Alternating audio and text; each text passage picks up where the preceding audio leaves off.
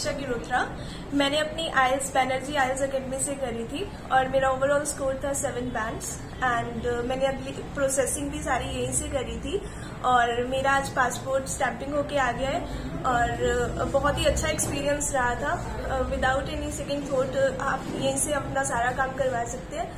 So yes thank you if you have to rate the Banerjees Global तो क्या rate करेंगे आप sir क्योंकि आप इनके हस्बैंड हैं आपको मालूम है कि कितनी परेशानी आमतौर पर आती है तो चाहे वो आयल्स थी चाहे वो वीज़ा कंसल्टेंसी थी कोई प्रॉब्लम आपको आई?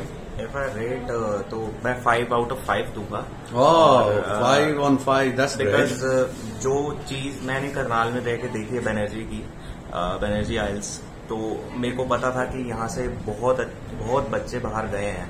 और बहुत इजी था मुझे भी यहाँ से करना क्योंकि आ, मैं एक बार ही आया था एज पर कंसल्टेंसी और जब मैं आया तो मुझे अच्छा लगा और मैंने दीक्षा को रिकमेंड किया था क्योंकि दीक्षा यहाँ से नहीं है। हम्म, दीक्षा हाँ। दीक्षा पंजाब से है। तो मुझे पता था कि यहाँ पंजाब कौन सी जगह से? नकोदर। ओके फाइन बहुत सी अकेडमी है पंजाब तो ईट उठाओ तो अकेडमी हाँ, निकलती है। बिल्कुल वो है तो मैंने दीक्षा को सिर्फ़ एक ही अकेडमी का रिकमेंड किया था वो तो बेनेट्री है thank you very much Diksha visa जो आपके पास आया है वो आप दिखाइए। स्टैम्प होकर आया जो। Yeah. Congratulations. God Thank bless you. you. Stay happy. Stay healthy. Thank Jai sir. Thank you so much.